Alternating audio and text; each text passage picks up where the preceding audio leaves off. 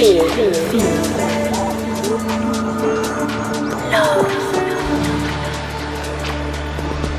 Listen, listen. It's Welcome Hohme Radio.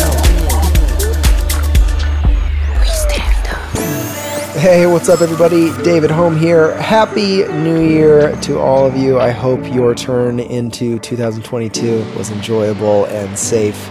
I am finally back in the States after a week long crazy trip down to Brazil and back. It was a ton of flights, it was ferries, it was speedboats, it was driving.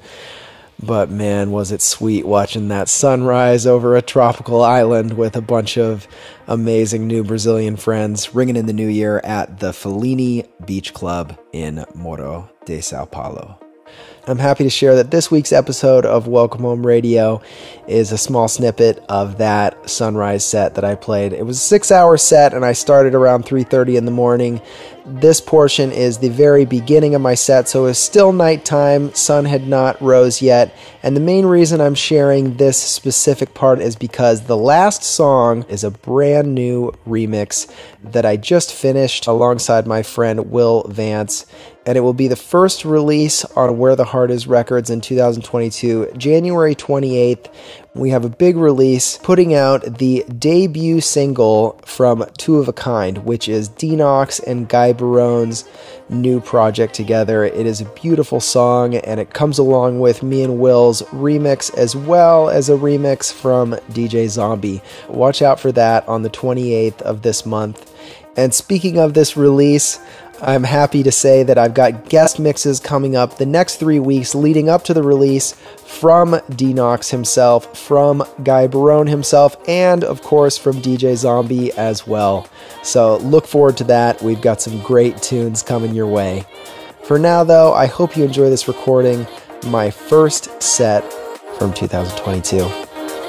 Talk soon.